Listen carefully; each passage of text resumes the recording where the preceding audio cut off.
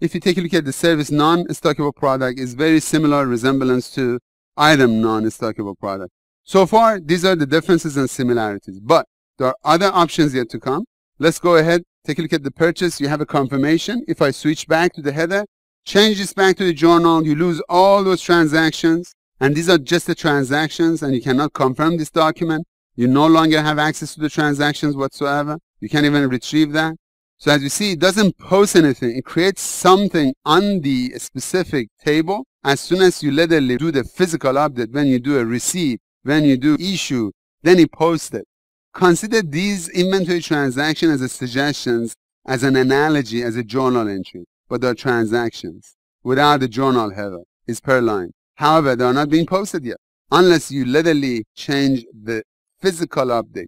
Now if I switch back and change this to a purchase order, let's go ahead and confirm this purchase order. That's logically how it works. I create a PO, I confirm it, send it to the vendor, and after a couple of days or after a couple of weeks perhaps, they go ahead and pick or perhaps reserve, pick, pack, ship it to me, and then I can literally do certain activities. As you see once more, even though you confirmed it, it doesn't change anything on the status.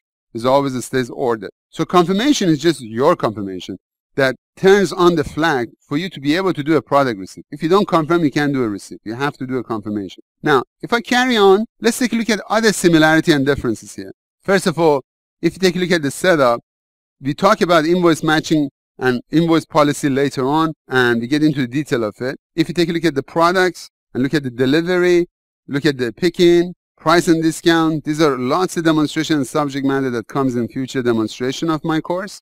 But at the moment, you can see also the foreign trade that we talked about, the fixed asset we discussed within the financial, but I showed it to you within the vendor invoice, but you could just do it right here in the purchase order, same story, same situation, default financial dimensions, and finally, if you are using transportation management, these are your loads. You can take advantage of it too. In other words, you have your own trucking or you manage someone else's third-party trucking system. Now, if I carry on and wrap up this conversation as my first demonstration, you can actually have multiple deliveries and all, which I'll talk about later. From the update line, I choose registration. And as you see, the registration window will appear. And now here, the status will be shown once more as ordered. You can manually add a line or you can select on this checkbox and do auto create. It's completely up to you. As soon as you do this, automatically the site and warehouse will be picked up from the default settings of that specific product. And the status becomes registered you can unregister by selecting that line again and post again. So if you made a mistake and you registered the wrong product, you can always undo it. So it's just a status. So if I register it, see what's going to happen. On the first item, when I do the registration, the transaction changes the status from ordered into the registered under the receipt column.